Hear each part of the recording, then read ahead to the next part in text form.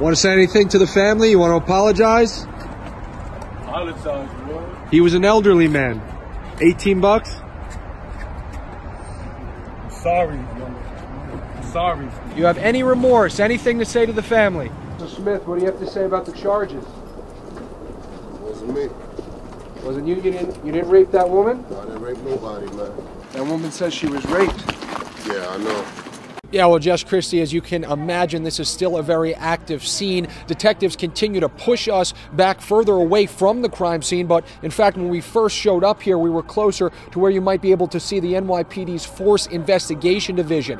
That's when we found out fr- from police that we were actually standing in the crime scene because detectives were carrying out a ballistics investigation. Again, cops pushing us back here, but what we do know is that police engaged that suspect right on this street here behind me, shooting him. Now, we spoke to one man who says that gunpoint robberies continue to be a problem in this area right across the street from Mount St. Michael Academy. Walk down East Tremont Avenue and you're bound to notice LaSalle Bakery. They make everything on the premises from scratch, so we have to go in and taste some of their baked goods. One of the best parts about Cafe Colonial is that the chefs love what they do. It's not uncommon to walk here to the back of the kitchen and find them laughing, joking around. The owners say all that does is add a special touch. All six people in that burning apartment made it out alive, but the damage could have been a lot worse if it wasn't for the efforts of neighbor and family friend O'Shane Williams, who just got home from working a long overnight shift at Target, not realizing he was about to do the work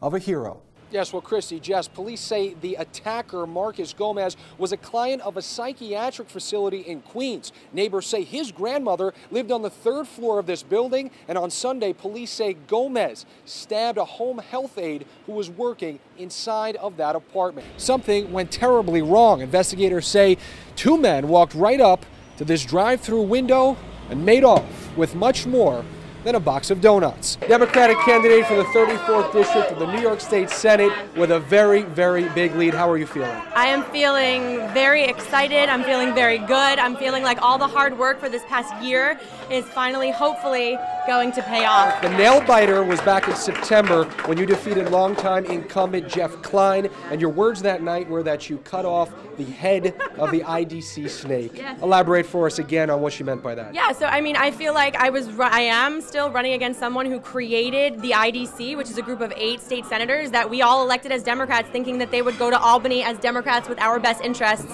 and then they caucused and they voted with Republicans.